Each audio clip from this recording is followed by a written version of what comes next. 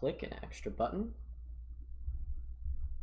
And hello everyone, I believe now it is true. Click an extra button. streaming to everybody out there uh, in the world watching our YouTube channel.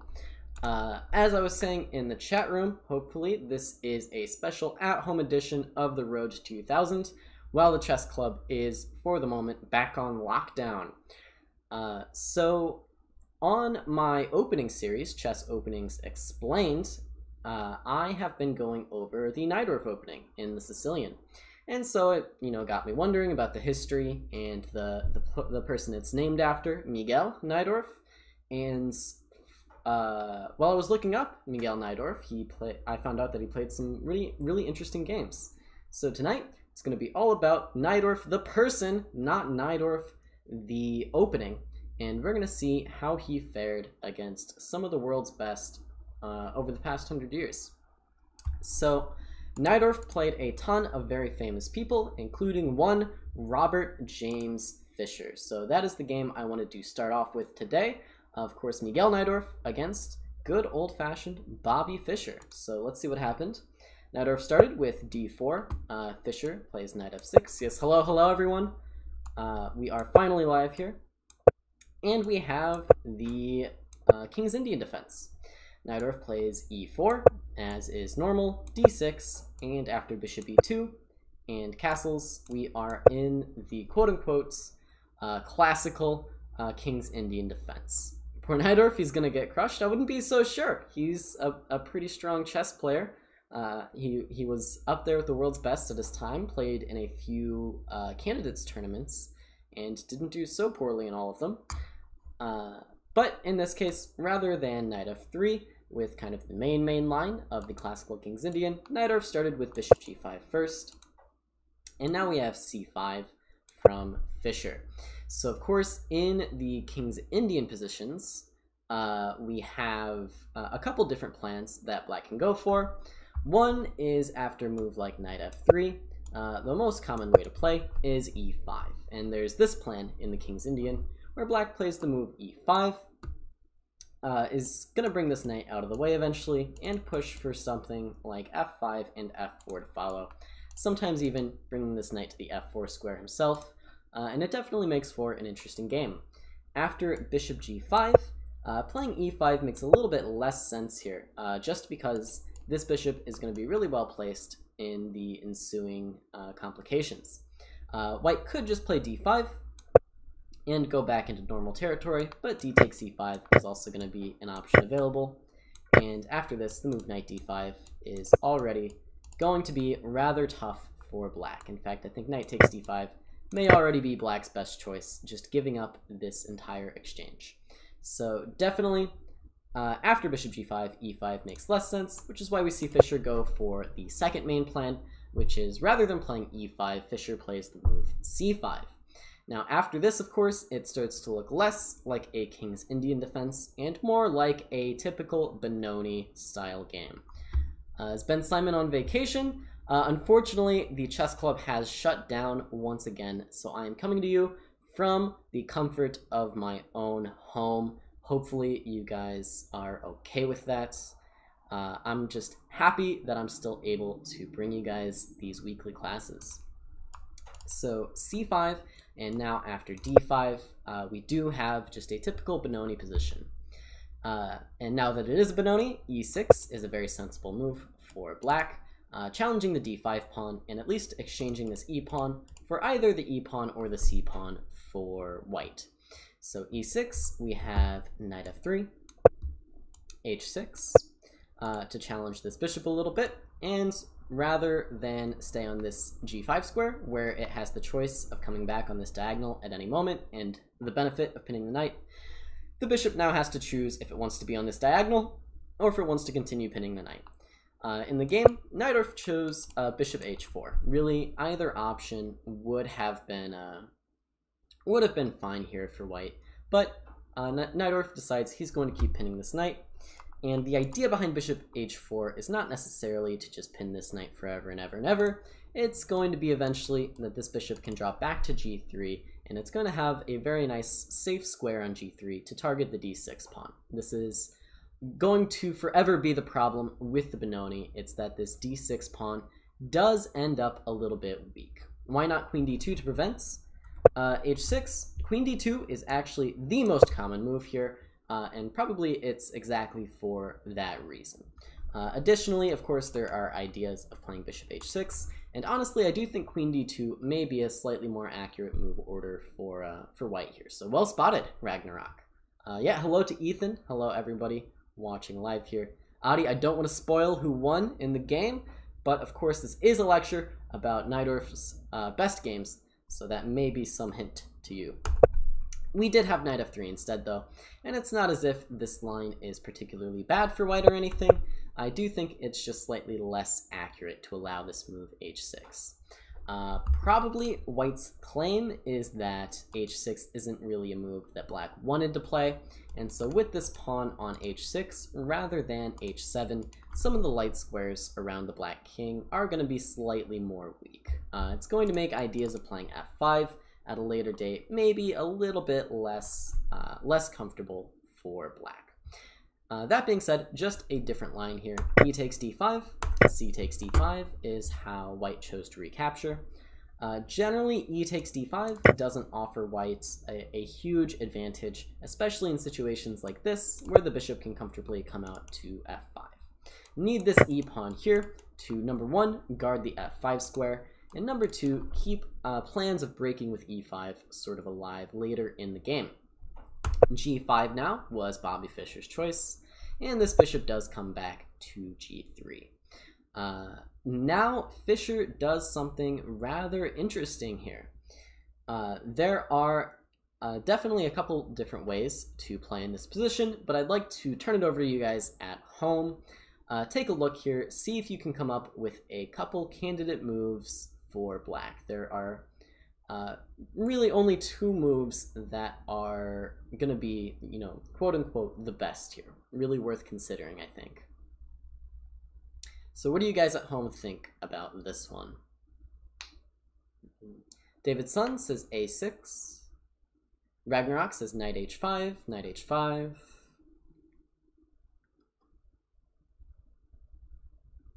Any other ideas? Besides a6 and knight h5, b6, bishop a6. That is one way to go about things by Manny. Mm-hmm. Okay, so these are some pretty good ideas. a6 is very, very thematic for the Benoni, but in this case, uh, black can actually get a better version of playing a6. If you play a6 here, then the move a4 might come, and all of a sudden, uh, b5 is going to be hard to, to attain. Uh, if you play the move knight h5, this is actually the most common way of playing, and I do think this is the best way of playing. And there are actually uh, a number of games that have reached this exact position. Uh, Wang Yue uh, played this against Ding Liren with whites. So Ding Liren had the black pieces here. Wang Hao against Ali Reza Firouzja just last year reached this position.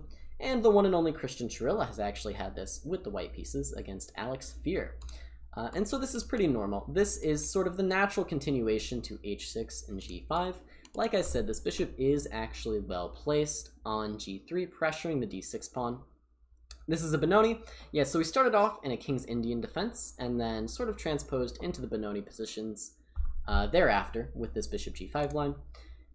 Uh, so yeah, as I was saying, this bishop is quite strong on g3, pressuring d6, so knight h5 is really, really natural to just get this guy out of the way and move on with the game. Now, the other move is the move that Bobby Fischer chose, and I do think it's slightly worse here. Fischer actually dared to play the move b5 in one go, which is why the move a6 is sort of uh, not going to be the right idea here, because black is going to be able to just play uh, b5 rather directly.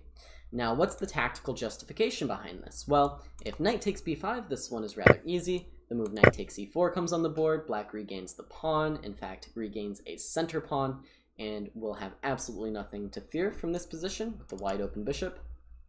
If bishop takes b5, this one is slightly less obvious, but black can actually still dare to take this e4 pawn when after knight takes e4, queen a5 check is a simple fork Knight c3 doesn't do enough because bishop takes c3 is check, and black will at least be regaining the piece. So always be on the lookout for these opportunities to play b5 in one go with the black pieces in the Benoni style positions. Uh, and when I say be on the lookout, I mean with both colors. You have to make sure that uh, you're okay with allowing b5 here if you are going to play sort of in this manner. So b5, fortunately for white, uh, taking on b5 is not forced. Instead, now white does get to play the very natural move that Najdorf plays in the game, which is knight d2. Knight d2 creates the threat of capturing this pawn by defending e4. It also has the very, very, very nice side effect of defending the h5 square, thus securing this bishop here on g3. Uh, okay, continuing on, a6 to defend b5, and now white castles. Rook e8 played in the game, and now I wanted to ask you guys at home to think a little bit in this particular position and try and come up with sort of a plan of action here for white. Uh, there are many different plans in the Benoni that white can go for, uh, and it largely depends on how the specifics of the opening have uh, developed here. So in this case, we do have black getting a6 and b5. Generally, this is sort of seen as favorable for black to have these moves in. We also see black with h6 and g5 included though, uh, taking some control of dark squares, but weakening some light squares. And we do have black sitting a little bit underdeveloped with these queenside pieces. Uh, so with all that in mind, try and come up with some kind of plan here for white. Decide how you want to make use of your pieces in this game. What do you guys think?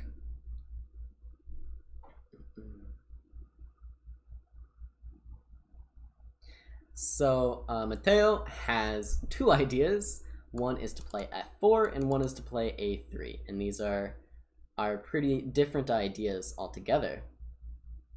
Well, I'm very glad to hear that, Gustavo. I'm so glad you enjoy the lectures. As I said, a special at-home edition of the Road to 2000 tonight. Hopefully you guys are on board with that. And as I've said, we're going over the games of the wonderful Miguel Najdorf. F4 push. So you guys are uh, sort of along the, the right track here. F4 could be difficult with your E4 pawn. So yeah, this is an excellent point. Uh, so you guys are mentioning some really natural Benoni ideas here. So a lot of times in the Benoni, uh, in particular, with these pawns back here, let's say we just continued along normal lines, knight bd7, castles, rook e8, knight d2, uh, let's say just b6 or something. f4 in these positions is a very, very common way of playing in just sort of normal Benoni positions. You play f4, the idea is to control the e5 square, you go for e5, you can even go for f5 breaks in many, many cases. Of course, however, that is not the position we have in our game here. In our game here, we have the pawns on h6 and g5 already. And that is, in fact, going to change our, uh, our position slightly. It's going to change our plan slightly. Uh, good evening, Subakura. How are you doing? Uh, Subakura says sound effects. I hope that doesn't mean there is sound playing that shouldn't be, but uh, I think all is well. what about h4? Hit the hook.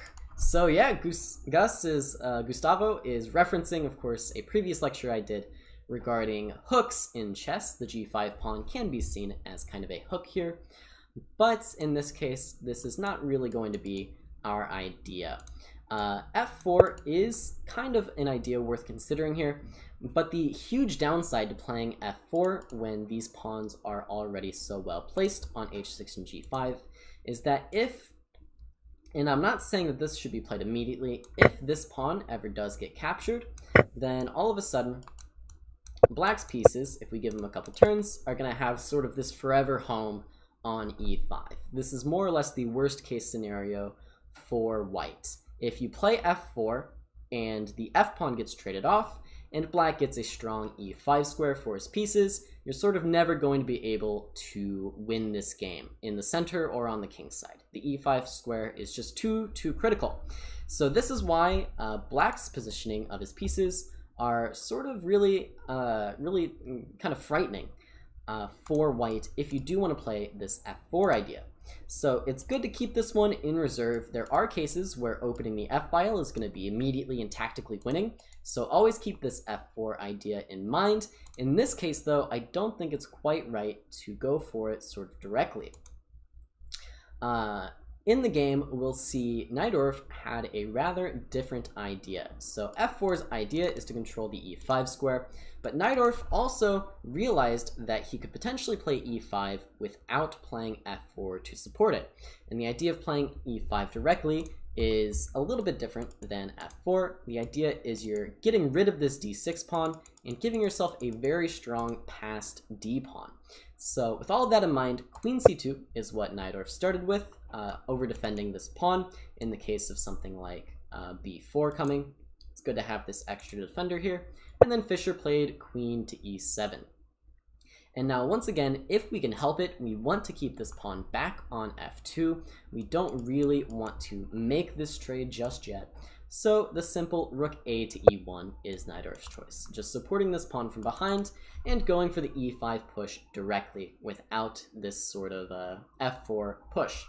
Now after knight b to d7, this next move by white is sort of the, the critical idea as we hear some sirens go by in the background. The next move by white is the critical idea to aid this e5 push. So it's not going to be f4 in this case. f4 is not a terrible move, but it, is rather risky opening up this diagonal, and it's not the most favorable trade of all time, giving up the e5 square. So this next idea by white, who thinks they have it? And actually, Yaroslav is just so far ahead of me, uh, answering the question before I even asked it. It's the move a4. Uh, and the point, of course, is you want to sort of overextend these black pawns, not so you can attack them, but so they give up some key squares. In this case, it's going to be the c4 square, that is the key square for white to control. So a4 is the uh, important idea here by Najdorf to gain control in the center. b4 was played, and this knight just retreats all the way back to d1. Knight e5 was Fischer's choice. Once again, this is the natural conclusion of putting these pawns on the dark squares. It's for e5 control, dark square control. Uh, now, rather than play knight c4 immediately, uh, which I think might even hang this pawn, uh, the very nice move knight e3 uh, comes on the board by white. The idea being you get the worst knight into the game, the knight on d2 is already serving an important purpose, controlling the e4 square, so you bring the knight from d1 out to c4. Uh, now we have knight g6 played in the game, uh, taking uh, a more defensive approach rather than leave this knight on e5 and have this knight be challenged by the white knights. Fischer retreats this knight so that it can actually control these squares rather than occupy them. Of course, the natural follow-up here is the best move. Just bring this knight in to c4, and now knight f4 was Fischer's idea. So, once again, it is white to move, and this time uh, it is finally going to be time to just break through directly. Of course, the best move here, you have to get rid of this super strong knight on f4. So bishop takes f4, g takes f4, and then wasting no time at all, Najdorf plays this move, e5, and this is just going to be uh, crushing in this case. Of course, the move knight takes d5 would be highly desirable, but bishop f3 is going to start to give you some very, very awkward problems here on this knight. If bishop b7, look out uh, for just knight takes d6, when you can't defend everything all at the same time. For example, rook d8 takes, takes, and uh, I'm not even sure here. Just knight c4. I guess you aren't losing the piece immediately, but of course this is just a dominating position with the knight coming into d6 and the rook coming to d1 to collect. Uh, okay, so not knight takes d5, but rather e d takes e5 is Fischer's choice. And now how do you want to follow up this sacrifice with white? What's the big follow-up here? What do you do? Thank you very much, Yaroslav with a Y. There are two Yaroslavs in the chat. Unbelievable. One with a J and one with a Y. I wonder what subtle pronunciation difference I'm missing there. But yeah, thank you very much for the kind words. I'm glad you like those. And those lectures.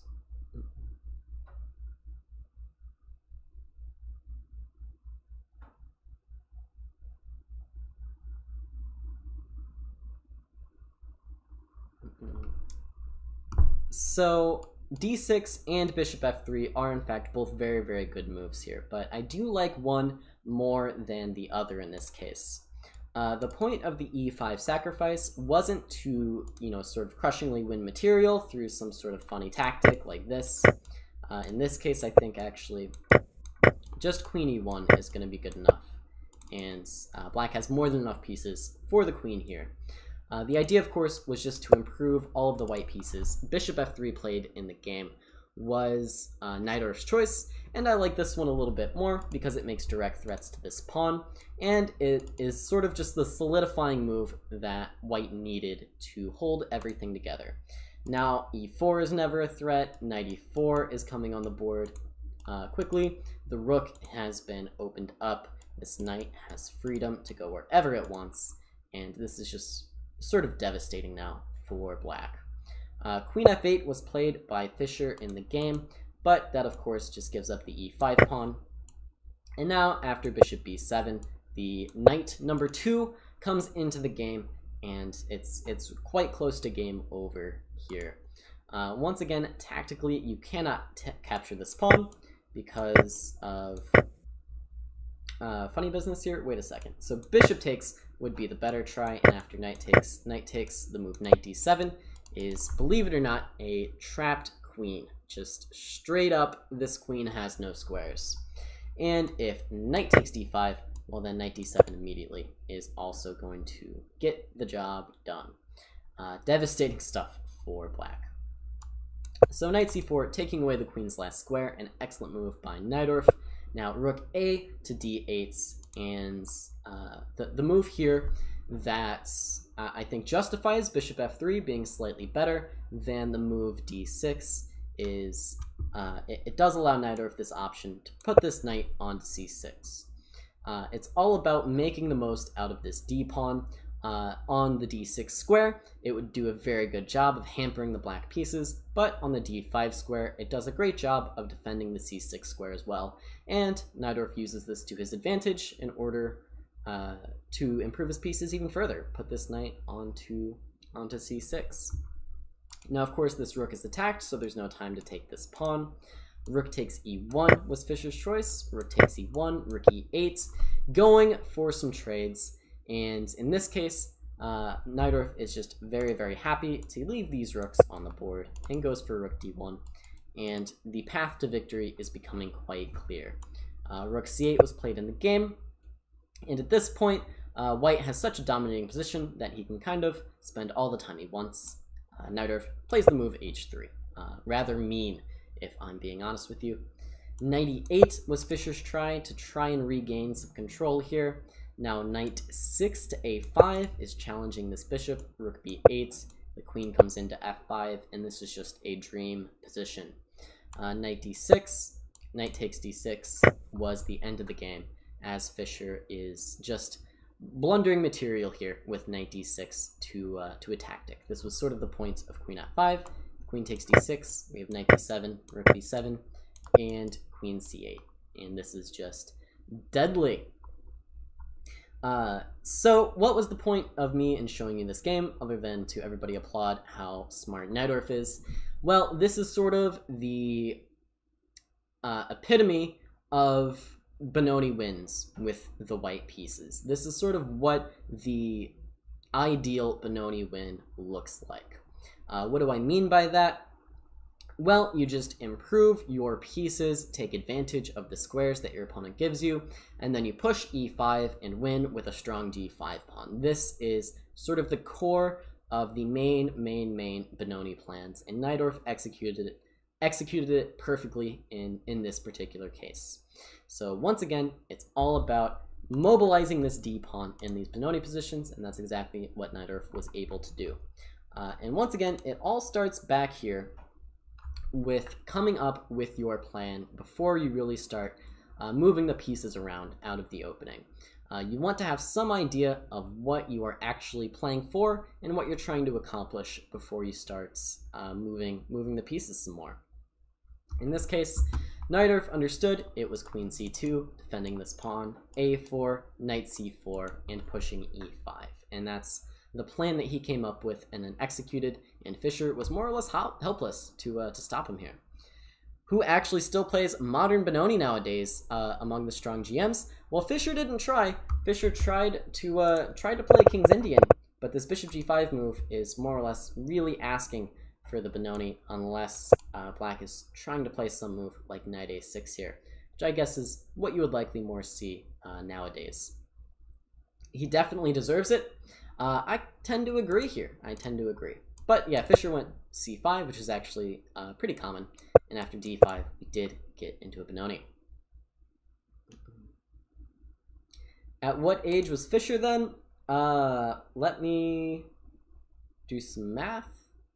I think this game was played in 1966, unless I'm mistaken. Let me check really quick here. Yeah, 1966. So do your own math there. I don't remember when Fischer was born, but this was played in 1966. So uh, not too far away from 1972 when he was winning world championships, but I guess he was pretty reasonably young. Okay, of course, it wouldn't be uh, a lecture about Miguel Najdorf if I didn't include a game in the Najdorf. Uh, so the game we just looked at was Bobby Fischer with the black pieces against Miguel Najdorf. Uh, Najdorf, of course, is the topic of tonight's lecture. And now this is a game between La Lejos, Lajos, I don't know how to say his name, Steiner against Miguel Najdorf. And this, of course, is going to be his signature opening. We have the Sicilian, and after d4, takes, takes, knight f6, knight c3. Uh, here, a6 would bring us into the mainline Najdorf. Did Bobby lose? Bobby did lose. He resigned after knight d6.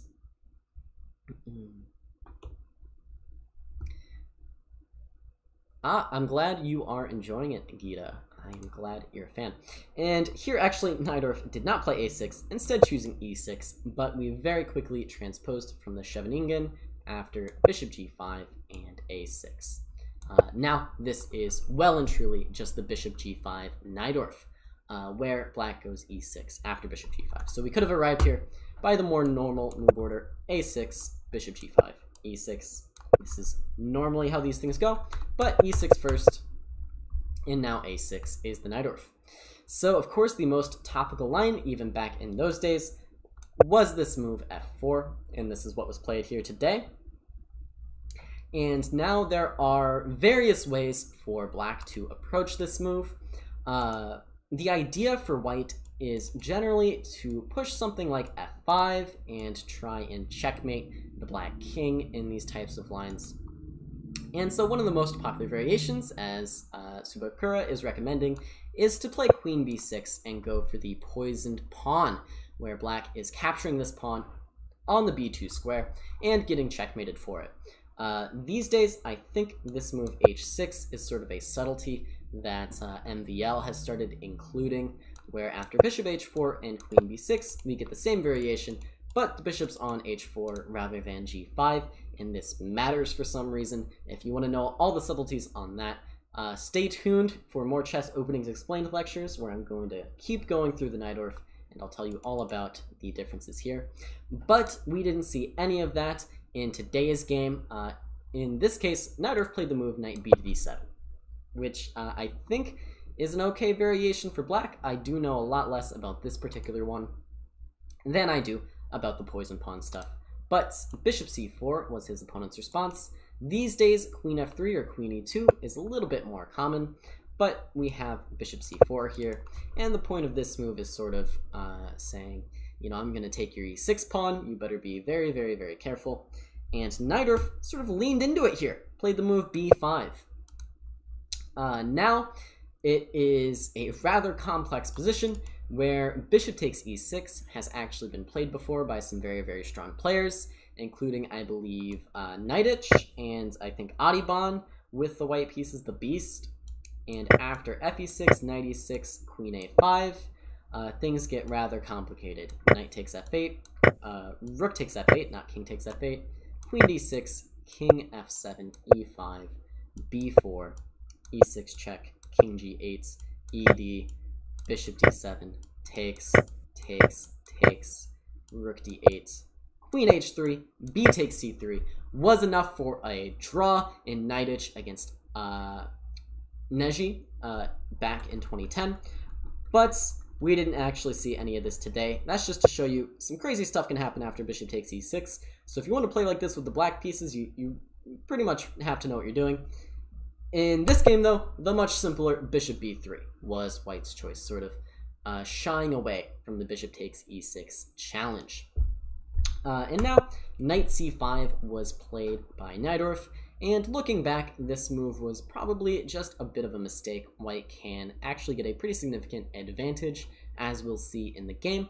Uh, the best move here has been played before, and that is just to go bishop b7. What's the difference? Well, the difference is you are much better prepared to meet the move e5, in this case, because your knight has not gone to c5. So you are just directly controlling this square. After knight c5, obviously now the best move is going to be e5, uh, as this knight has left the protection of the e5 pawn. Uh, if you are a fan of Maurice Ashley, you've probably heard the term Aikido chess. This is a favorite term of his, uh, and that means sort of uh, gosh, I'm my memory is failing me on the exact meaning, but it's sort of the idea that every move has positives, in this case attacking e4, attacking the bishop on b3, but every move also has drawbacks, in this case no longer defending the e5 square. So oftentimes you'll find that the best move after your opponent's move is to take advantage of the drawback that they've left behind. The drawback being this e5 pawn, this e5 square is a lot uh, less directly controlled by the knight on c5. And that's exactly the case here. The best move for white is the move played in the game, e5. And now black is in serious trouble, right? This is a pin, and this is a pawn attacking the pinned piece. You're going to be in a little bit of trouble. Uh, in the game, we have d takes e5 and f takes e5. And now black's idea was to go queen c7 with the point of meeting uh, e takes f6 with the move queen e5 check. Uh, unfortunately, while this tactic works, uh, white does just end up in a very, very good position as this line uh, reaches its sort of natural conclusion. So if e takes f6, queen e5 check, queen e2, and either queen takes g5 or queen takes d4. If queen takes d4, you're asking for trouble. So queen takes g5 is the better move but now simply castles, and white is, is kind of dominating here. If knight takes b3, in order to give the bishop a square, knight takes b3, guards the square, and after the natural move, bishop b7 to create threats, knight a5 is highlighting just how pinned down the black pieces are. And this is going to be rather difficult for black to survive. Uh, fortunately for Najdorf in the game, uh, his opponent sort of believed him and didn't go in for this queen e5 and queen takes g5 nonsense, probably because it isn't the most natural thing in the world to give up this bishop on g5. This is a very strong uh, attacking piece placed right here, and white just renews the threat with the move queen e2. Uh, unfortunately, though, for white, now the defensive move, knight f to d7, is enough to kind of just equalize here with the black pieces. Uh, once again, this is Steiner against Miguel Najdorf in, believe it or not, the Najdorf. Uh, now, it, it is a rather complicated position. White could sort of keep the balance by queenside castling here, and this does just give up this e5 pawn if black chooses to capture it. But, of course, black is going to have to be ready to face these threats on the e file. Gonna have to play a move like f6, and there's plenty of problems to solve here with black in the form of developing the remainder of these pieces. Uh, black could also try, or white could also try an interesting move, bishop d5. The point being, if you play bishop b7, white is just going to capture this piece. And now this knight on c5 is looking a little bit empty without this bishop on b3 to take advantage of. but probably the move rook b8 here. And after queenside castles, this is just going to be some horrific mess. Uh, in the game, though, we do actually see not bishop d5, but knight d5 by white. And the idea that I didn't mention, if black just captures this, is of course that the move e6 is going to be rather strong for white. Same idea uh, as bishop d5 here. uh, yeah, Gustavo. So, uh, of course, the down, the drawback to knight c5 is undefending the e5 square, and so the best move in some cases is going to be to take advantage of that, and uh, that's not always the best move, but it is a perfectly valid way of trying to play. Uh, and yet, turns out this is actually going to be pretty good for white in this case. If you take this guy, we will take back, and if you take this guy again, look out, you are getting checkmated in two. So pretty nasty stuff. In the game, uh, Najdorf plays the best move, which is just to step out of the way. And sometimes this is the, the best way to go uh, when you're facing down these complex variations, like the move knight d5. Uh, a huge issue that a lot of people have when they're calculating forcing variations is they sort of already assume that captures is going to be played. You know, it's a pretty natural thing to do. Say, okay, I play knight d5, my opponent takes, I play e6, he takes, I take on e6, and then I win, right? Knight e6, queen e6 is mate in two. But, of course, captures are not forced in chess, and when you place a piece on a square where it's hanging, sort of the risk you run is that even if your opponent doesn't capture that piece, it's going to be hanging on the next turn as well. And if you don't sort of deal with this threat, then perhaps your opponent can improve his position to the point where uh, capturing this piece is actually going to be good. So in a sense, while knight d5 gains a tempo on the queen, knight d5 is actually a loss of tempo for white. What do I mean by that?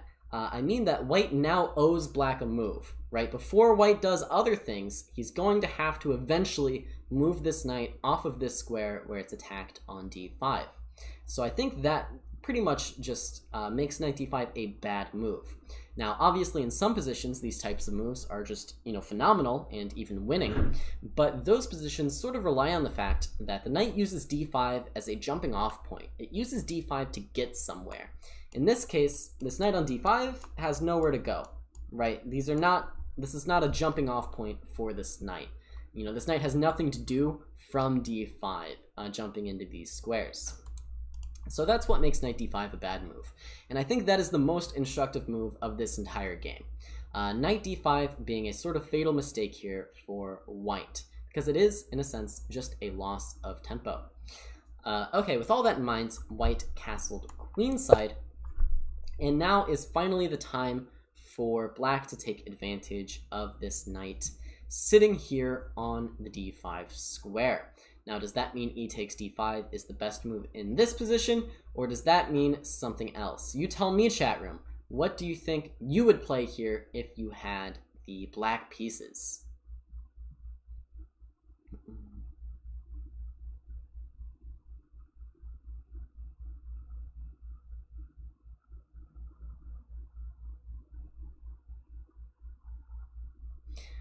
What would you do here with black? Would you rise to the occasion and take this knight now, or is there some way to improve your position before taking on d5? So don't just give me one move, give me, uh, you know, why you're playing these moves. 1200, so e takes d5, knight takes b3, then queen takes is interesting. Yarrow says knight takes b3.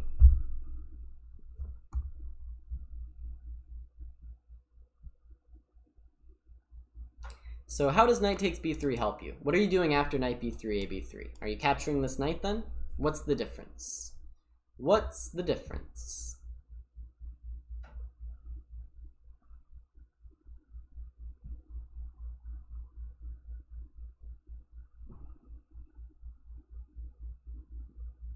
So Montenegro just wants to take the bishop and then try to castle.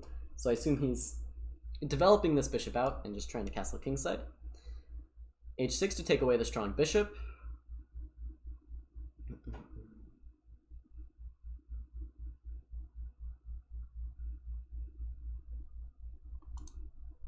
So I will tell you guys that you are not quite on the right track here. Um, it would be great if queen takes d5 were perfectly legal, but knight takes b3 is legal. And then you're definitely not playing uh, queen takes d5 here when the rook on d1 is controlling the square. So after this, now would you capture on d5 or is something different?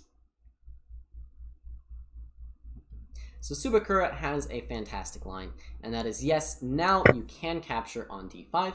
If a b3 or c b3, then queen d5 is going to be a great move for black, as you guys were suggesting.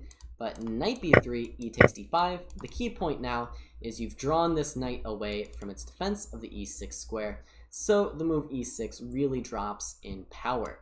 Now, after e6, as Subakura mentioned, the only move for black to maintain an advantage and in fact, the only move to not lose is knight f6. The point being you uh, cut this bishop off, and after e takes f7, king takes f7, uh, it is going to be an extra piece for black. Definitely, the complications are not yet over, as there are some issues on the f-file, for example, rook f1, queen h5 threats, but an extra piece is an extra piece here, and black is doing quite well.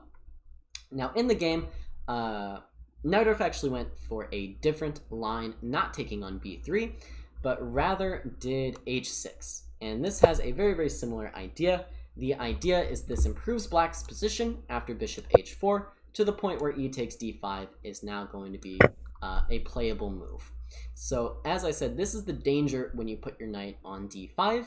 Even if you calculate accurately that your opponent taking your knight is winning for you, on the first turn. The issue is, if your opponent can just sort of dodge the threats, you're going to have to be calculating e takes d5 on every turn and in every potential position that your opponent can can sort of achieve after uh, after the capture. So this is why I think white ends up losing this game. What's the difference with h6 and bishop h4 on the board? Well, now after e6, the move knight b6 comes on the board, and if e takes f7, king takes f7, check, and king g8. And now, uh, now black is safe. Let's compare this with what would have happened with the bishop on g5. If takes e6, knight b6, e takes f7, king takes f7, rook f1 check, king g8. Well, here, unfortunately, uh, the move rook takes f8 would be winning, the idea being rook f1 check, king g8, queen e8 is mate instead of not checkmate. And this is sort of the, the really, really deep idea behind h6. So if you guys notice this, then you guys are kind of super geniuses along the level of Najdorf. But uh, personally, this idea was not obvious to me at all. Uh, once again, the difference being now after knight e6 takes takes check here, the move rook takes f8 is just a losing move because king takes f8, check, king g8, check is no longer mate because the king has a flight square on h7. And oops, I think I just messed everything up. Is that the case? Okay, hopefully it's all back to normal. Okay, perfect. So, this, as I said, I can't stress enough, the reason white lost this game is because uh, if you leave this knight sitting on d5, then your opponent is going to have so many different options to get a slightly different version of taking on d5, and odds are one of those is going to be uh, just good for him, you know, taking this extra piece. So when you play moves like knight d5, you have to be ready to justify it in the case of many, many, many uh, different choices for your opponent. And in this case, Najdorf goes up a piece, queen e8 was played in the game, and then a very nice move by Najdorf here, bishop f5, putting this bishop on a square where it's attacked by two different pieces, but interfering with the rook's access to f8 while hitting the queen. A fantastic defensive move. This queen came back to e5, and now the bishop tucks itself away back on g6. And this king has never been safer. Knight e6 comes on the board, black is now happy to trade, up a piece, queen takes e6, king h7, and now the game is sort of just over. Bishop f2, knight c4, h4, and this is just sort of desperation by white, but black is just up a clean, full piece with no real issues around his king. Uh, rook e8, activates this rook. The queen drops back to h3. We see queen c8 now, trying to trade queens. g4, desperately keeping queens on. Now knight a5 is just trading pieces and threatening checkmate as well. Uh, h5 played in the game, and now knight takes b3 with check would be playable, but queen b3 defends the mate, so just bishop e4, c3, now we take, bishop e7, and as I said, this is this is all kind of just dead lost now for white.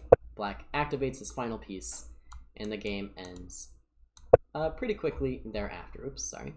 Uh, b4 played in the game, bishop d2, b takes c3, b takes c3, and checkmates. And Najdorf defeats his opponent in his namesake opening line.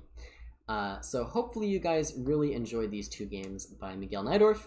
Uh, I found them to be rather instructive games. Uh, the first one, the key idea being being uh, being formulating this plan based on the subtle differences in the structure, and the key idea in this game uh, is being able to take advantage of an opponent's faulty sacrifice, not necessarily by capturing it immediately, but by first ignoring it and then taking it on your own terms when you've calculated a line that's an improved version for you. And let this be a cautionary tale for those uh, Sicilian players with the white pieces. If you want to sacrifice your pieces, you are more than welcome to, but be aware your opponent doesn't always have to take them. Uh, right after this, we are actually going to do another lecture here on YouTube. Hopefully, I get it uh, to, to start on time. Had some tech difficulties on my own here uh, to, with the Road to 2000, but hopefully that all goes well over on the end game class. It's going to be a little bit more of a beginner focused class, so if you're on the newer end to chess, be sure to check that one out. Uh, with all that in mind, thank you very much for joining me tonight on the road to 2000. As always, my name is National Master Caleb Denby. I have been your driver on this journey.